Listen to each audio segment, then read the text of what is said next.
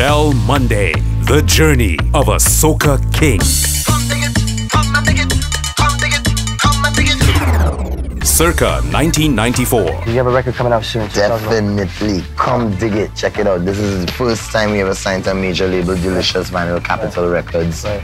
You know, it's now being released in Canada. It's doing well. The journey of Machel Jesus Montano at 19 years old. You have your own label as well, right? Well, well, yeah, you know, I have my own studio and label home.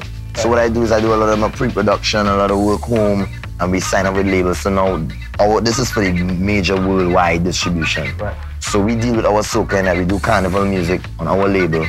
And now we signed up to this label. We're gonna try to do very hard work to make it break, you know? The journey of a soca king. Machel Monday.